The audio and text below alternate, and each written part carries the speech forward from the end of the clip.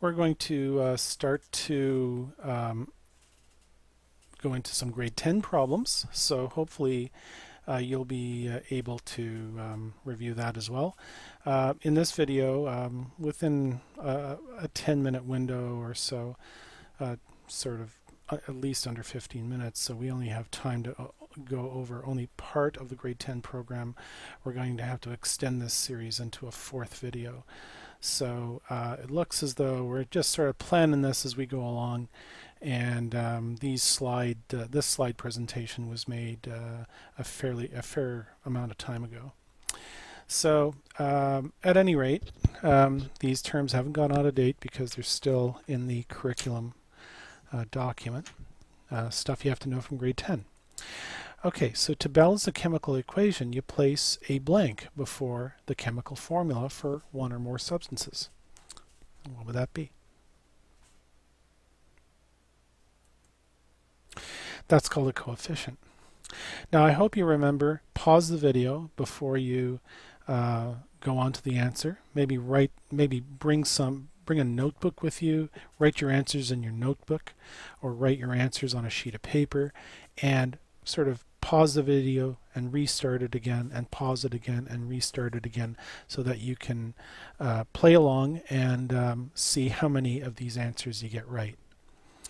Uh, if you don't, well then those are the areas you would have to study on your own and you're responsible uh, you are responsible for uh, making up for your weaknesses in in uh, these earlier grades. So a compound that is formed from a metal and a nonmetal is likely a a salt. Okay, that's a salt. Two atoms can join together by sharing an electrons in a Okay, that's a chemical bond. The substances that are formed during a chemical reaction are called the Okay, those are products. A blank forms as a result of the loss or gain of electrons. That's an ion. The starting material in a chemical reaction are called the starting material in a chemical reaction. Those are called the reactants. A group of atoms that have an overall charge is known as a it's an ion, polyatomic ion actually, because it's a group of atoms. Okay, we're going to name a bunch of formulas and you give me the formula for the compound. Sodium sulfide. Uh, sorry about that, I was a little too quick on the draw. That's Na2S. I'll promise to be a little slower for the next ones. Aluminum bromide. Okay. Carbon tetrachloride. Okay. Sulfur trioxide.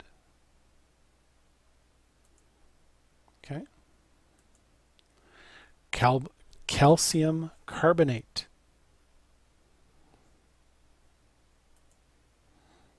Okay. Phosphorus pentachloride.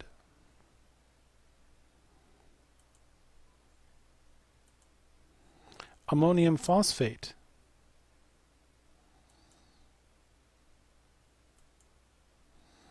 aluminum sulfate.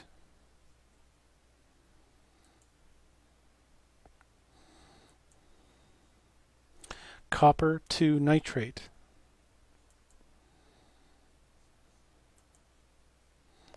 Gold 3 fluoride.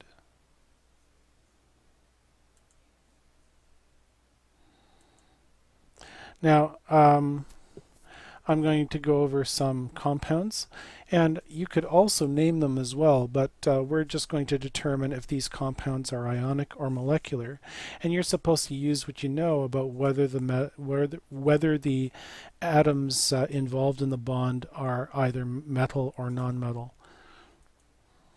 Cl2O okay that's molecular. Li2O, lithium oxide, it's molecular, it's ionic, sorry. K3PO4, potassium phosphate, ionic. Iron 2 hydroxide, ionic. Yeah, that one came a little too quickly. That's tin 4 chloride. That's iron 3 iodide.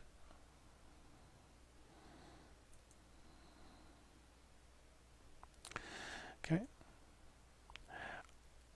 That's aluminum sulfate.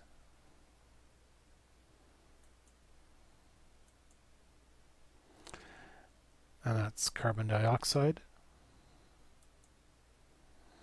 All right. Notice that every time I named a compound, um, well, for one thing, uh, what these all have in common is whenever I named a molecular compound, uh, what made it molecular was that you had a nonmetal bonded to a nonmetal. Where you had a metal bonded to a nonmetal, they were normally ionic. And um, that usually is uh, quite consistent. Notice also that the ionic compounds, where a metal is bonded to a nonmetal, are given names like, for example, this one here is called potassium phosphate. Potassium phosphate and not tripotassium phosphate. Notice we didn't say tripotassium phosphate, we just said potassium phosphate. And over here we um, didn't say iron dihydroxide, but instead we said iron 2 hydroxide um, without counting the OHs.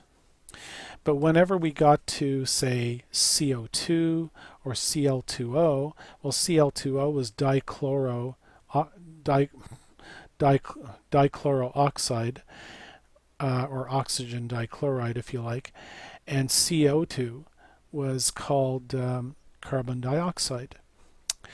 And that's because you have a nonmetal bonded to a nonmetal, and that affects the naming not only does it affect the naming, it also affects whether the compound is ionic or molecular. Balance each chemical equation. I'll simply just present the chemical equations.